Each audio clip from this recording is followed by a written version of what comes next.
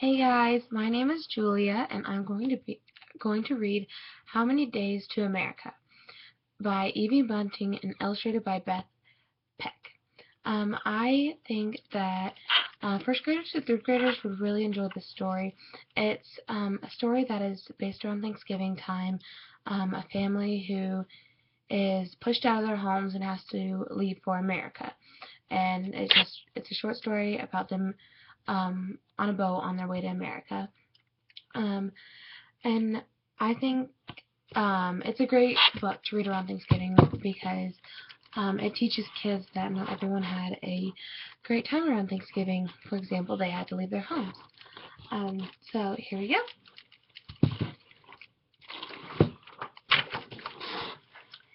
It was nice in our village, till the night in October when the soldiers came. My mother hid my little sister and me under the bed. When I peered out I could see my mother's feet and their black slippers, and the great muddy boots of the soldier. When they were gone, my father said, "We must leave right now." "Why?" I asked. "Because we do not think the way they think, my son. Hurry!" He would not let us take anything but a change of clothes. My mother my mother cried, "Leave all my things, my chair where I sat to nurse our children? The bed cover that my mother made, every stitch by hand?" "Nothing," my father said. "Just money to buy our way to America." The word America was not new to me. I heard it whispered between my parents and the and the rest, restless hours of the night. America. Were we going to live there? Others, too, moved silently along the streets. Boats bobbed in the dark water of the quay, and men talked behind their hands while gold passed from one pocket to another. "I must have your wedding ring," my father told my mother, "and your garnets." My mother took the ring from her finger and the garnet necklace from its little bag, buried deep in her bundle. She did not speak. My father said we would leave while it was still dark. "How many days to America?" my little sister asked. "Not many," my father said. "Don't be afraid." The fishing boat was small, and there were many people. More kept coming, and more. We chugged heavily from harbor to the open ocean. "Can we see America yet, papa?" All the time my little sister asked questions. "Not yet," my father said. We were an hour from shore when the motor stopped. The men crowded the engines. "A part is broken that cannot be fixed," my father told my mother, and her face twisted the way it did when she closed the door from her home for the last time. The women made a sail by knotting cloths together, and when they pulled it high, my father's Sunday shirt blowing in the wind.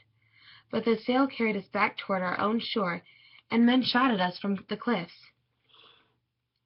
At least we got the boat turned around in the right direction. "How many days to America now?" my little sister asked. "More, my small one," my father said as he held close, held us close. I saw him look at my mother across our heads. Day followed night, and night day. Our food and water ran out, and many people were sick. At sunset my father and my mother and sister and I huddled in a bow, when my father sang as he sang at home, "Sleep and dream, tomorrow comes, and we shall be all be free." That was the only time I was not afraid. By day we fished, and shared our catch. When it rained we caught the water in our buckets. I slept and dreamed of home, of food, of my favorite uncle, who worked with my father in his shop, and who had stayed behind. Sometimes I cried, and then my mother would rock me against her. We saw a whale, gray as an elephant, covered with barnacles. "Come push us, whale," my mother called. "Push us to America." But the whale did not hear. Once a boat came roaring close on the wings of foam, and we were filled with joy. But not for long. "Thieves!" Fear moved like bad wind between us. Men scrambled from the other boat to ours, waving their guns, shouting for money and jewels. There was little to take, but what we had went with them. Once there was a shout of "Land!"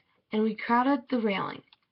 But though we pulled on our sailboat, would, but we pulled, our sailboat would not go closer. We will swim for help, my father said, and he and two others jumped into the water. No! my mother cried, but they were already gone. When at last we saw them rise on the green roll of the surf, we saw them carried to shore. We danced and cheered, but there were soldiers on the rocks. Everyone was quiet, and my mother gripped my hand. They are bringing them back, she whispered.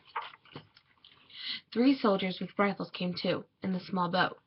They brought us water and fruit, but they did not speak or smile. They tossed it onto our waiting hands.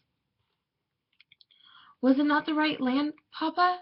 I asked as the soldiers pulled away. Will it not do? It would do, but they will not take us. They will not take us, my father said. My sister tugged at his arm. They don't like us? It's not that. He did not explain what it was. Our family got two papayas and three lemons and a coconut with milk that tasted like flowers. The sea was rough, and that night my father's song lost itself in the wind. I said the words as the stars dipped and turned above our heads. Tomorrow comes, tomorrow comes, and we shall all be free. It was the next day, the tomorrow, that we sighted the land. I was afraid to hope. A boat came. My mother clasped her hand and bent on bent on her bent her head. Was she afraid to hope too? The boat circled us twice, and then a line was thrown, and we were pulled to shore. There was such a silence among us, then, such an anxious, watchful silence. People waited on the dock. "Welcome!" they called. "Welcome to America!" That was when our silence turned to cheers. "But how did they know we would come today?" my father asked. "Perhaps people come every day," my mother said. "Perhaps they know how it perhaps they understand how it is." There was a shed, warm from the sun on its tin roof. There were tables covered with food. Though the benches were crowded, there was enough room for all of us. "Do you know what to day that to day is?" a woman asked me. She passed me a dinner plate. "It is the Coming to America Day," I said. She smiled. "Yes, and it's special for another reason, too. Today is Thanksgiving." "What is that?" My little sister was shy, but not too shy to ask questions. "Long ago unhappy people came here to start new lives," the woman said.